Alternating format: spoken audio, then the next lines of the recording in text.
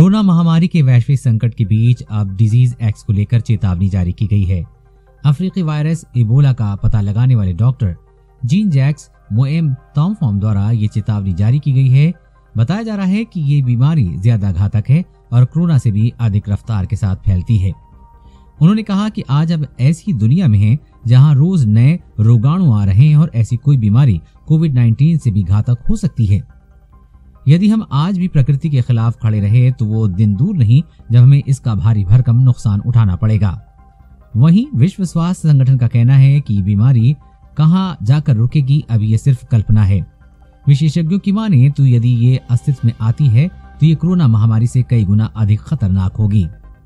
हालाँकि इस बीमारी के बारे में अभी तक कुछ खास पता नहीं चल सका है, लेकिन इसका एक मरीज़ कांगो में मिलने की बात सामने आई है।